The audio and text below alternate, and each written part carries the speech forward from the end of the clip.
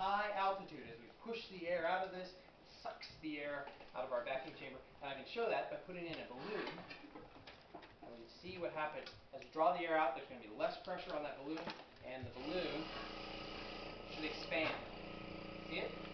The balloon expanding.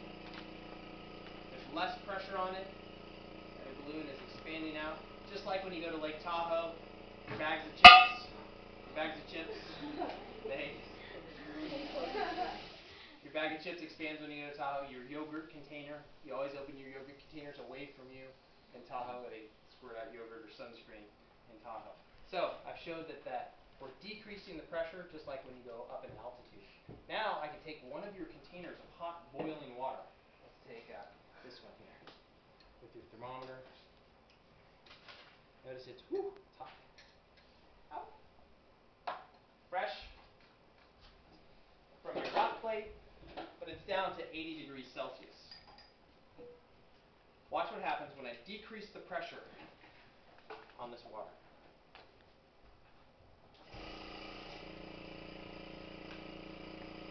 Like we're going up in altitude, there it goes. See it boiling? So we can boil water at eighty degrees Celsius by decreasing the.